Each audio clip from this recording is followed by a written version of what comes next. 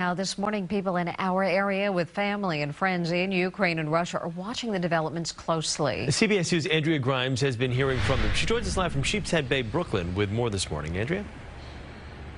Chris and Mary, so many strong ties to Russia and Ukraine here in Sheepshead Bay and neighboring Brighton Beach, two neighborhoods in particular with large populations from that region. You can only imagine how they're feeling watching all of this play out.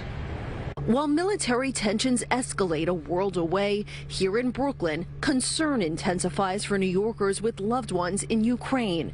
This weekend, we spoke with people at Rondell Ukrainian Restaurant. I'm really worried because I have all my family is lived there. My mom and my sister live there. And I hope that uh, God will be with us and with our family there. That's all many people here can do, worry and wait.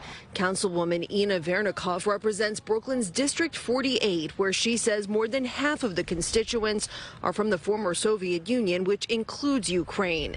She immigrated to the U.S. at the age of 12 from Ukraine and still has friends there. They are disheartened about what's going on.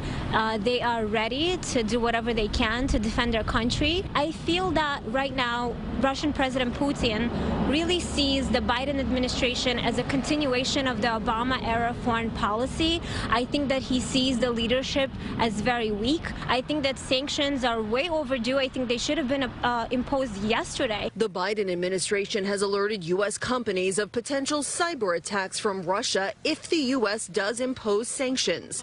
Yesterday, Governor Hochul reviewed cybersecurity preparedness with her cabinet leaders, saying, quote, the reality is that because New York State is a leader in the finance, healthcare, energy, and transportation sectors, our state is an attractive target for cyber criminals and foreign adversaries.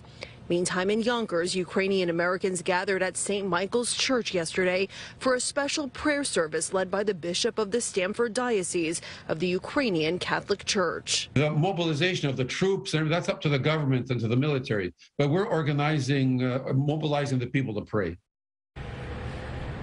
And Governor Hochul is also reminding New Yorkers that cyber attacks could come to your own personal devices. So she's reminding folks to make sure that their password security, uh, security updates are used and up to date. And also a reminder to make sure that older New Yorkers are free from scams should they happen as all of this plays out over the coming days. Reporting live in Sheepshead Bay, Brooklyn, Andrea Grymes, CBS 2 News. Andrea, thank you.